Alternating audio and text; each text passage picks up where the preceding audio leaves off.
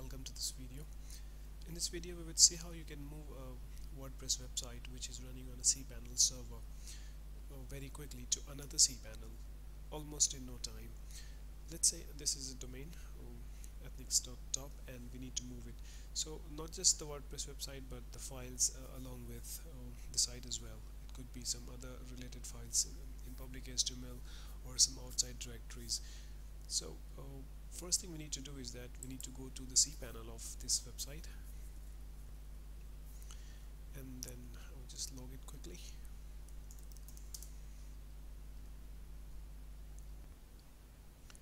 Once I'm logged in I'll go to the backup wizard. I'll go to the backup. I'll go to the full backup. And then I will select remote FTP server. Here we need to enter I'll just select uh, I would rather not like to receive an email once it is done. Now uh, we need to fill in these details quickly uh, and you can obtain it from the destination cPanel server. For example if you're moving it uh, from one server to another like A to B so you would get an IP address a username and password to access the destination cPanel. And um, I have it so uh, it looks like this. So I'll just paste this IP address. This is very important. We need to have this and uh, in case if you have any issue getting it or finding it you can contact your hosting provider. I'll put the password here as well.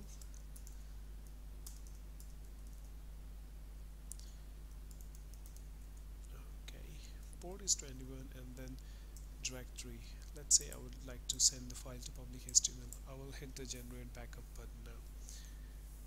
So what we did is that we just entered the IP of the new server the FTP username and FTP password the location where we would like to take the files. So I'm just taking it as a raw file to public HTML directory. And um, when you see this message that it's in progress it means that your backup is being taken and um, the file would be there on the destination server very soon. Okay so we just uh, configured the setting using backup wizard tool of cPanel to send entire cPanel files to the destination server. What we are going to do is to log into the new server but um, when we work uh, with a live domain for example this one uh, this is the site uh, this is the URL which we are going to access use to access the cPanel. For the destination, we won't be able to use this name uh, before changing the name server. So to come out of this situation, you can access the cPanel of the destination using the IP address of your server. Uh, username and password would be the same which is provided by your host. So um, this is my um, new server's IP address and I would be able to enter uh, the IP slash cPanel and uh, log in.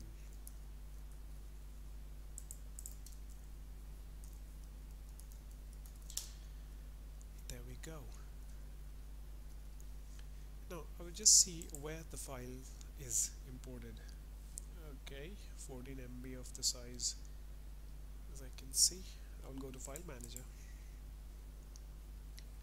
and then hit go. and I'll go to public HTML this is the backup just 13 MB very small.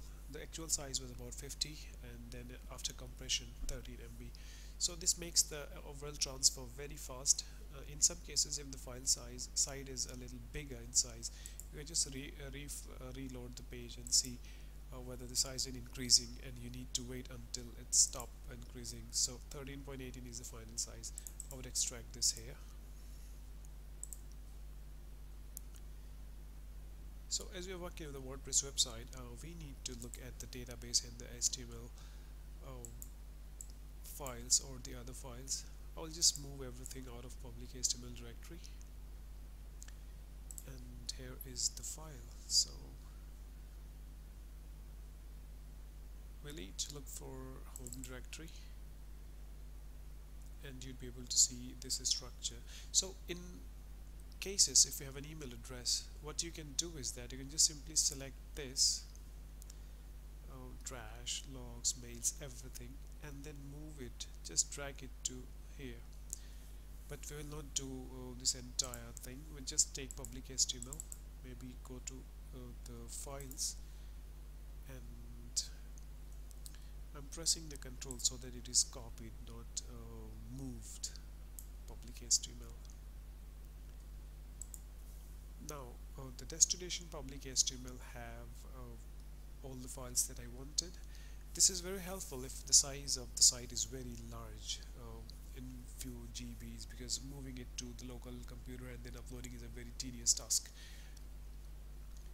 And then once the files are here what you can do is you can go and uh, get the MySQL file downloaded and imported to the new server. So you'll have to go to the backup that you just ex uh, extracted. We'll go to MySQL. This is uh, the database that you need to download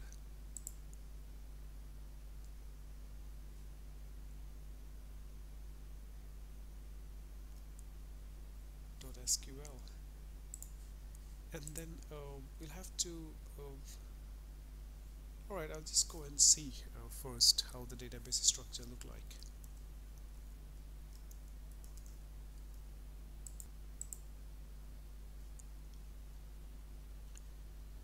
No databases. So uh, I would quickly go to home.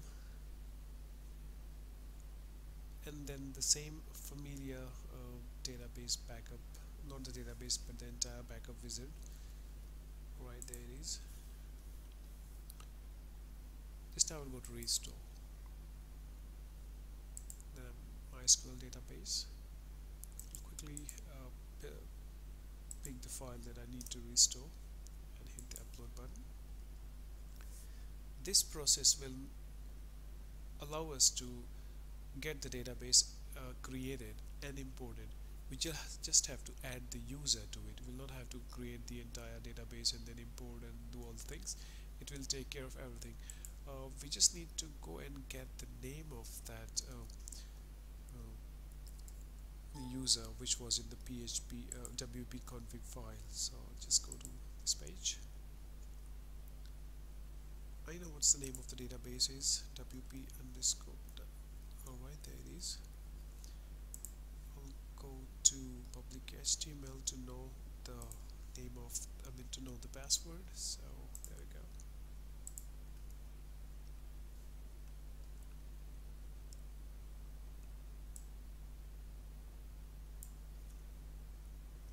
I control C control read so I just copied it and I'm pasting it here.